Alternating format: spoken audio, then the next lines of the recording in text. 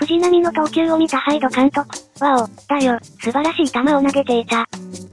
0対2の7回。先頭、8番シリエの初球、外角高めの160キロを完璧に捉えられた。飛距離109メートルの打球が左翼積載前列に突き刺さる。出花をくじかれ、3戦ぶりに失点した。しかし、その後は連打を許さなかった。試合後のハイド監督は、初球を待たれていたね。でもその後の投球はワオ、だよ。100マイル、約161キロを超える直球と本当にいいスプリット。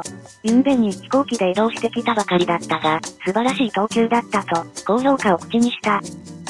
両用両方を守ってご利用ください。慎太郎の輪を。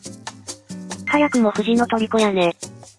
よかったやん。ホームラン打たれた1失点は、しゃあないって感じで評価してくれたんやな。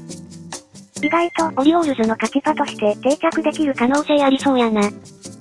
数字通りの活躍を見せてるようやな。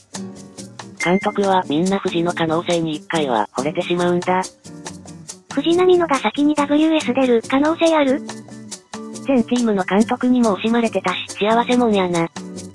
なんかみんな藤波に優しくない？ここまで通用するとは思わなかった。なぜ人は藤に対して甘くなるのか。速い球も低めに行けば全然打たれないしな。やっぱり藤波のピッチングは中毒性があるんやな。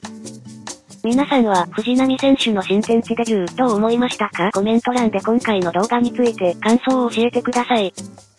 ご視聴ありがとうございます。チャンネル登録高評価よろしくお願いします。